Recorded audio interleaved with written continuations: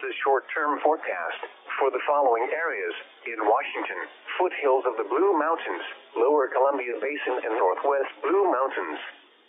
Through 6:30 a.m. Pacific Daylight Time, a few showers may develop along the foothills of the Blue Mountains this morning. Movement of the showers will be to the northeast at 15 miles per hour.